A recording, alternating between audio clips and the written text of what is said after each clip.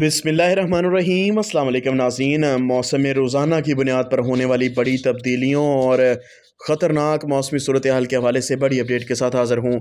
आने वाले तीन रोज़ के दौरान मुल्क के बेशतर इलाकों में दर्ज हरत शदीद बुलंद रहेगा।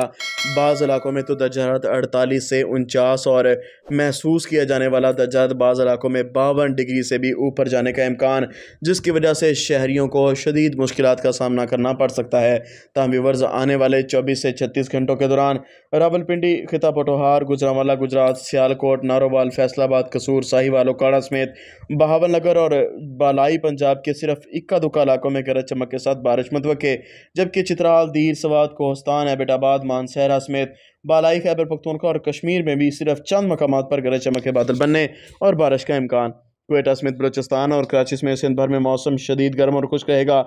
बारिशों के लंबे चौड़े सिलसिलों और ठंडी ठंडी ईद के हवाले से भी बड़ी अपडेट सुन लें।